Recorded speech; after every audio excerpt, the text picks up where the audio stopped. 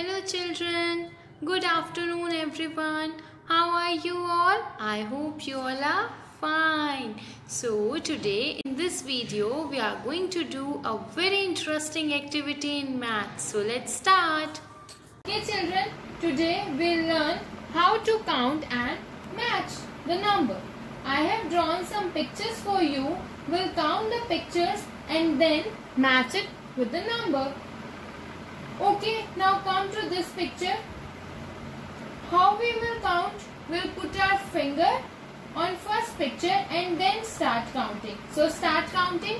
1, 2, 3, 4, 5. How many leaves are there?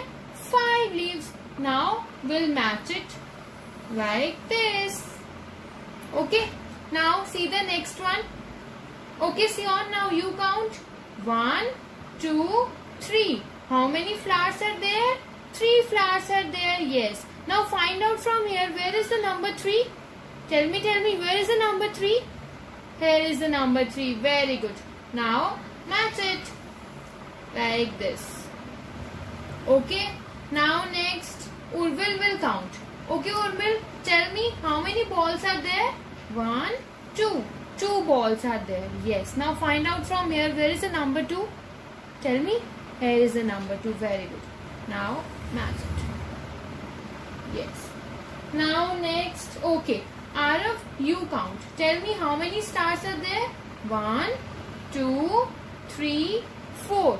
Four stars are there. Very good. Now find out from here where is the number 4? Tell me. Here is the number 4. Very good. Okay, now next Charvi will count. One, two, three, four, five, six. How many balloons are there? 6 balloons. Very good. Now we'll match it with the number 6. Okay children, now sit with your mom and do this activity.